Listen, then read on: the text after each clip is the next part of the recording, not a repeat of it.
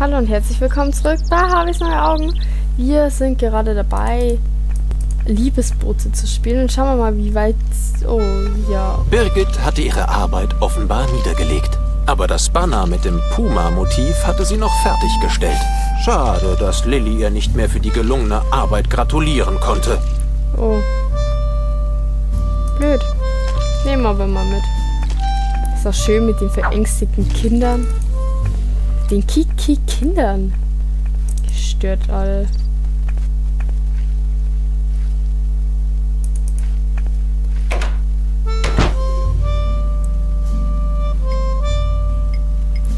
Den Liebesbrief an Shai. Oh, was hast du denn da Tolles? Ist das angsterfüllte etwa für mich? Lilly zögerte. Nicht etwa, weil sie Shai das Treffen mit Kapu nicht gönnte. Sie machte sich vielmehr Sorgen. Es konnte ja alles Mögliche in dem Umschlag sein. Eine Schlange, ein Skorpion oder Milzbrandviren. Schließlich entschied sie sich, Shai den Brief doch zu geben. Hui, der ist ja von Kapu. Ein Date? Wie aufregend. Ich muss mir unbedingt noch mehr Glitzerstaub auflegen. Es waren wohl doch keine Milzbrandviren in dem Brief gewesen. So ein Glück. Der wie, äh, schade, M, ich meinte Glück.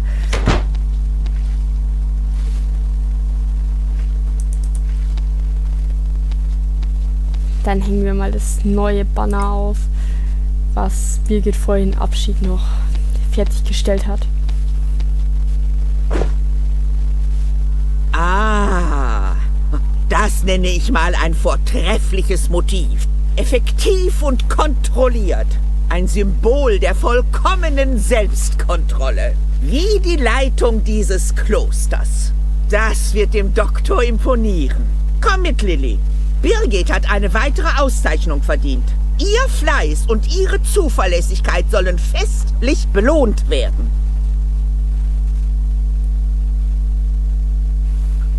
Lilly hätte vor Freude am liebsten einen Luftsprung gemacht.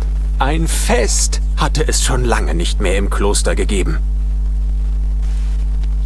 Oh, wie schön es dekoriert ist, vor allem mit Als der Lilly Birgit. das Klassenzimmer betrat, hatte die Oberin bereits mit der Zeremonie begonnen. Es war ein schönes Fest.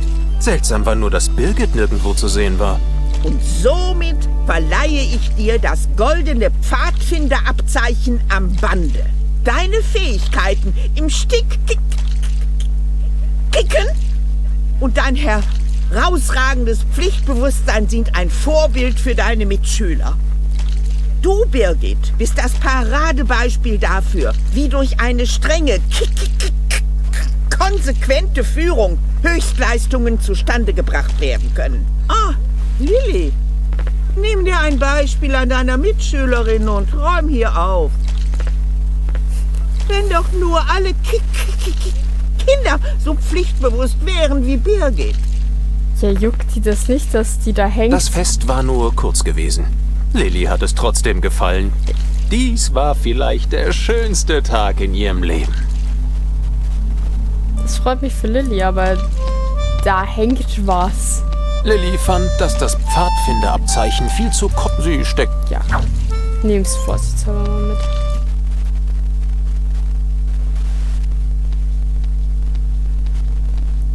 Könnten wir da mal hochgehen und... Ach, ich finde, vielleicht kommen wir mit diesen Ritterschwerter. Die Knallfrösche. Das Schwert reichte zwar weder zu den Knallfrischen noch bis zum Seil, dafür passte es aber perfekt in die Maschen des Zeigers. So perfekt, dass es darin stecken blieb. Was sollte Lilly nur tun? Etwa abwarten, bis der Gargoyle von alleine zu Boden fiel? So viel Zeit hatte sie gewiss nicht. Ja, das dauert ja eine Stunde.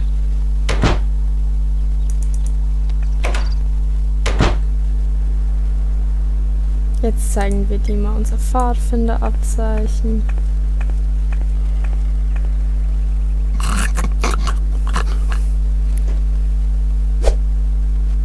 Aber das ist doch, ähm, äh, das ist doch äh, das goldene Pfadfinderzeichen am Bande. Ich hatte ja keine Ahnung, dass mir hier ein waschechter Pfadfinder gegenübersteht. Ist doch nicht meins. Ich war nämlich auch mal bei den Pfadfindern, weißt du?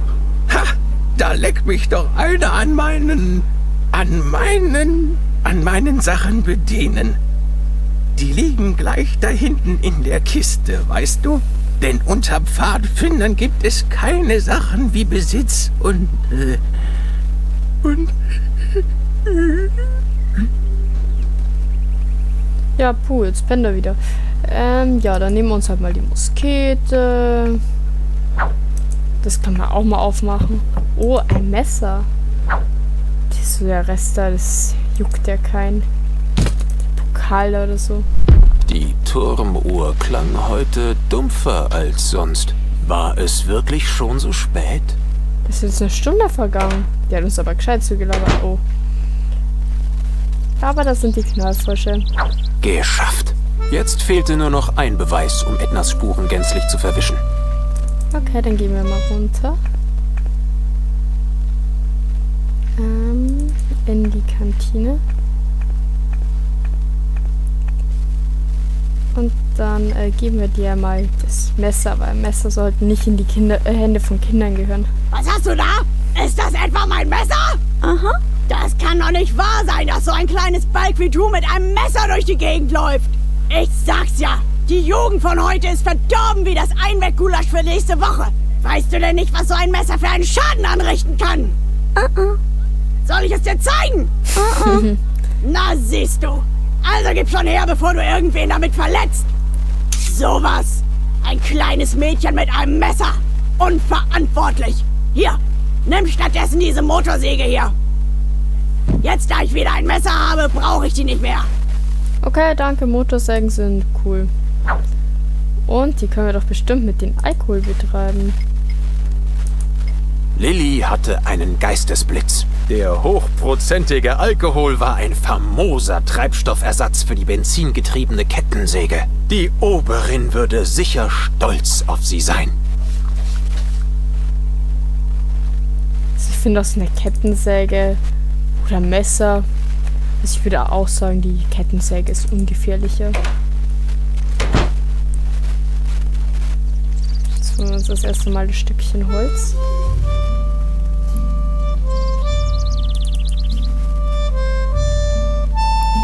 Oh, die schaukelt da gerade. Ja, vielleicht bricht auch der Baum nicht zusammen. Also ich meine, der ist nur ein bisschen durch Termiten zerfressen. Aber der Honig ist weg. Hat wohl geregnet. Geschafft. Lilly hatte Ednas Aufträge ausgeführt und alle Beweise verschwinden lassen. Sie konnte es kaum abwarten, ihrer besten Freundin davon zu berichten. Lilly, Gott sei Dank. Ich habe ein neues, viel größeres Problem. Ich kann mein Tagebuch nirgendwo finden. Und da steht doch alles über meine Fluchtpläne drin. Ich habe sogar eine Karte angefertigt, auf der ich mein Oh. Versteck markiert habe. Also vergiss die Sache mit den Beweisen. Hm. Aha. Nein, nein, vergiss sie einfach. Die waren eh nicht weiter Oh. wichtig. Das Tagebuch hat jetzt höchste Priorität. Schön. Bitte hilf mir suchen. Wenn die Oberin es in die Finger bekommt, bin ich geliefert. Es muss irgendwo in der Nähe sein. Lilly wusste natürlich sofort, was zu tun war. Sie wusste sofort, was zu tun war. Oh Mann.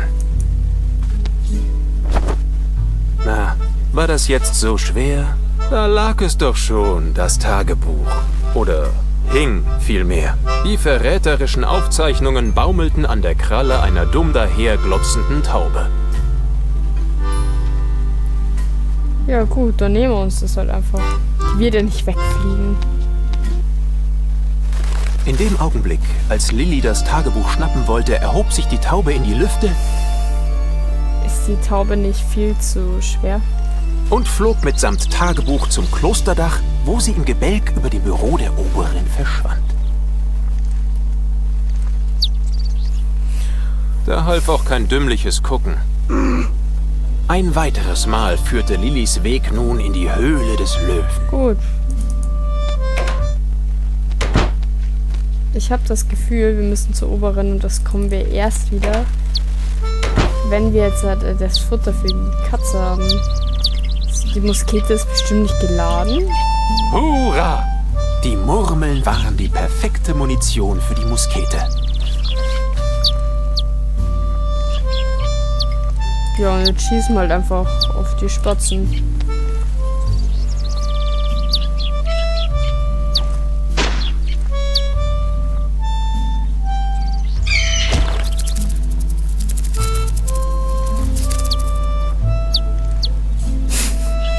Wie der schaut. Lilly hatte zwar die Spatzen verfehlt, nicht aber ihre Wirkung auf Sean. Jetzt ist er nicht mehr so Er schien tatsächlich ein wenig beeindruckt zu sein. Okay, dann war's es an dieser Stelle mit der Folge und wir sehen uns das nächste Mal dann wieder bei Harvest nach Augen. Bis dahin, tschüss.